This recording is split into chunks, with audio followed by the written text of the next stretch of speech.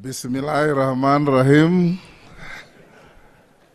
Your Excellency, our President, Prime Cabinet Secretary, my brother Aden Duale, governors present, ministers present, members of parliament, members of diplomatic corps, senior civil servants, and our Muslim brothers.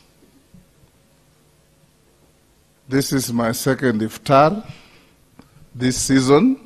I think I'm very blessed to have enjoyed with you. And I have many of you as my friends. So a bit of Islam has rubbed on me through osmosis. I work with many, many Muslim brothers and sisters in this country. And I admire your way of life. Because from the time you wake up to the time you go to rest in the evening, you are governed by the Holy Book. And I've taken time to read the Quran. I have an English translation Quran. And the more I read the Quran, the more I see the Old Testament of the Bible. They are almost identical in many respects. The prophets and the history of religion and what messages they brought to humanity, warnings, directions. So if we live by the holy books, we'll have very few problems among us. Because most of the people who do those negative things, the strong negative influences coming into our country, they're all against the holy books. And we should resist them. We should live by the word of God. God made man, God made a woman, and that's what he intended it to be. And we must live that way. Fellow Muslims, today in our country, we have so many fairy tales. People wake up and say things that are bizarre. You know, they remind me what Shakespeare said that if you had kept your mouth shut, one would have thought you were clever. But the more you speak, the more you expose yourself to everybody, and the more ridiculous you look. The president has said many times that Wakenya vile tunaishi, wajinga waliisha. Every Kenyan knows something about something. So I want to urge fellow leaders that this country needs peace. This country needs development. And there will be no angels that will descend upon this country to give us peace. It is us, ourselves. Each one of us must play a role. Mwalimu Nyerere always said, everything is possible, it can be done, it shall be done, provided you do your part.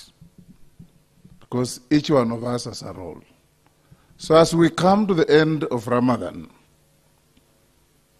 I want to urge Kenyans that the humility, the tranquility, the manner in which we have been each other's keeper through Ramadan should continue regardless of the season of our religious festivals.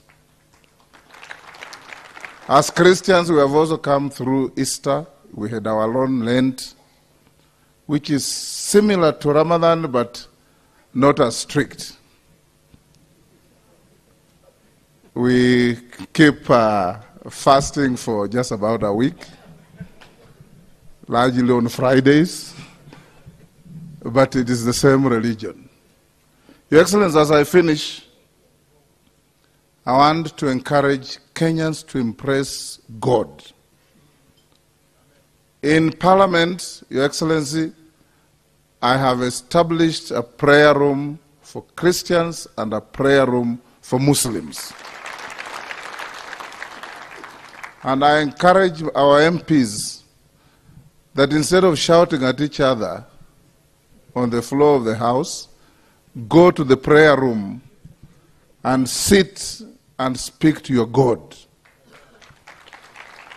And your God will descend on you to tell you that raising your voice does not amount to winning the argument.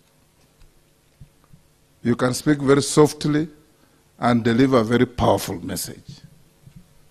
So fellow Kenyans, hawa ndugu zetu ambao wanaleta taharuki, unajua, nilisikia Mvuri akitaja kitabu cha kusadikika. Katika kusadikika, Shaaban Robert anasema katika nji ya kusadikika, maneno kama chuki, maneno ya kutukanana, maneno ya kuleta taharuki, tunaendelea kuyatoa katika msamiati wetu, ili tuwe na nchi ya ufasaha, ya raha, ya amani, ya upendo, na nji ambayo yoyote anayekuja kusadikika atajua ndiyo inji kila mtu anataka. And Mvuri, it's not true that kusadikika is uh, what you said, kwa sababu katika kusadikika kulikuwa na wajumbe kutoka kaskazini, kutoka kusi, kutoka mashariki, kutoka magharibi, na wakaketi na msome anaitwa Burhan, na wakaongea maneno. Walipomaliza, nchi ya kusadikika became the modern day utopia. Na hapa Kenya pia tukija hivyo, Muislamu atokee huku, Mkristo atokee huku, hata Yesu watongarena atokee huku. Tunajua yeye ni Yesu bandia, lakini yeye pia kuja achangie, tujenge nchi yetu. Thank you very much, Your Excellency. Pray for our president to continuously carry the weight of the pleasures and the problems of our country because the buck ends on his table. But he will not carry that weight alone without your prayers, without your support, and without your goodwill. Honorable Musalia, I now welcome you. Thank you.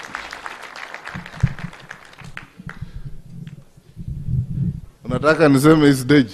Is stage, is stage, is